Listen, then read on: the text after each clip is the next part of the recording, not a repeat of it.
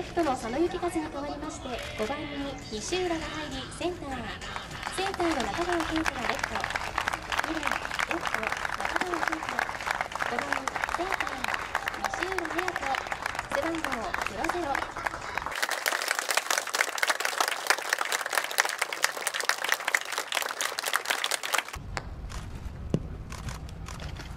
9回の表カープの攻撃は6番ライト永井背番号60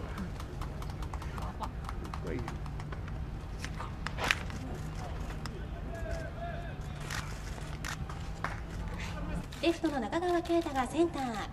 2番センター中川圭太。5番レフト西村。背番号25以上に変わります。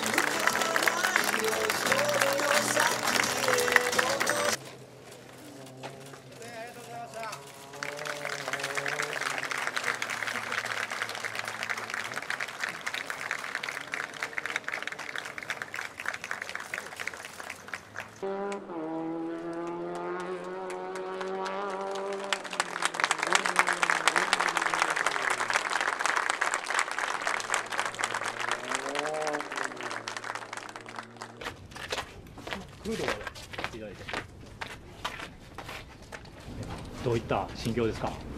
そうですね、まあ、ギリギリまで、まあ今日泣かないだろうなというふうに思ってたんですけど、守備ついたら、いろいろと思い出しちゃって、まあ、泣きたくなかったんですけど、泣いちゃいました。やっぱり何が一番そこ、まあ、涙自分の中でこう出てしもうたなというなんか心境としてどういったものが一番思い出されました？かなんていうんですかね、もう、守備位置についた瞬間、なんか自分がしてきたファインプレーとか、なんか結構蘇って、それでなんか泣いちゃいました。やっぱりもっとやりたいっていう思いまあ、いましたけど、もう今は切り替えて、次のステージで頑張ろうかなというふうには思ってます。あの守備位置今向かわれて、まあ、久々に守られたと思うんですけど見えたものどうでした？景色景色がめちゃくちゃ遠かったですね、久しぶり。あとめっちゃ肩痛かったです、久しぶりにボール投げたら。キャッチボール自体ももう久しぶりそうですね、まあ、キャッチボールも体重かかっちゃうんで、足に。とんどエクササイズぐらいのことしかしてなかったんで、なんかもうイニング間も率先してボール受けに行かれたりとはいかしてたのは、まあ、ちょっと楽しそうな雰囲気が見えたんですけど実際今日一日どうでした？いや、めちゃくちゃ楽しかったですね、やっぱり、ベンチにいても。ただ、その、回が終わって、ボールもらってたんですけど、なんか怖かったです、ボールが。久しぶりに取ったら、刺されました。そんな感じですね。今までは何気なくやってたものやと思うんですけどそんなにやっぱり違いました？そうですね、もう10ヶ月ぐらい野球してないんで、こんな変わるんだなと。自分の心はついていってるんですけど、体がついていかなくなってました。病気のことを聞いた時、あーどういった心境でした？そうですね、まあ、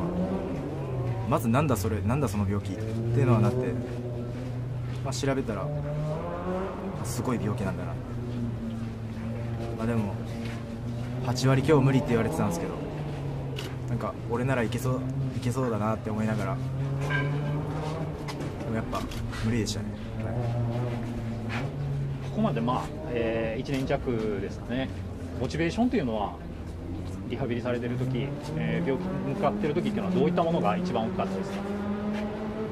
まあ一軍の試合を DAZN でいつも見てたんで戻りたいなって思いながら見てましたね。それがモチベーションになってました。早い決断を下されたなと思ってしまったんですけど、そうですね。そのあたりは、まあお医者さんから、まあ、厳しいっていうふうに言われてまあ自分で無理って分かりながらそのグダグダやってもダメだなと思って、まあ、そこはけじめちゃんと付き合ったんで。でも、まあ、次の道に行くことを決めましたその時やっぱり寂しさみたいなのありましたか？いやそれはもちろんありますけど、まあ、自分で決めたことなのでこんなくよくよしてても、ね、もうダメなんでそこはちゃんときっぱり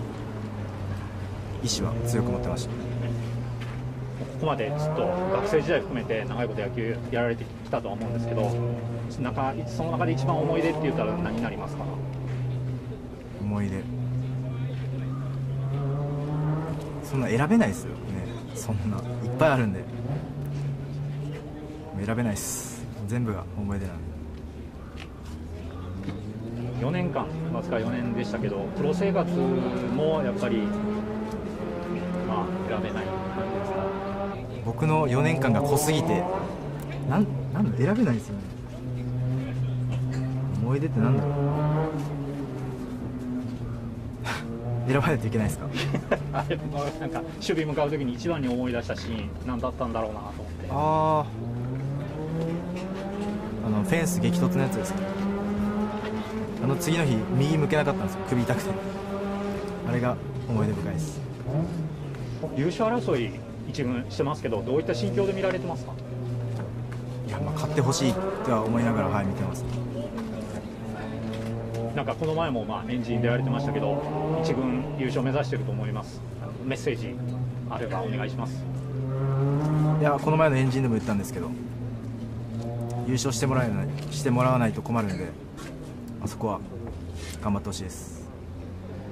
あの先ほどから次の道へとおっしゃってます。この先夢教えてください。まあ僕はずっとプロ野球選手なんですけど夢はまあ現実的には無理なんで心の中で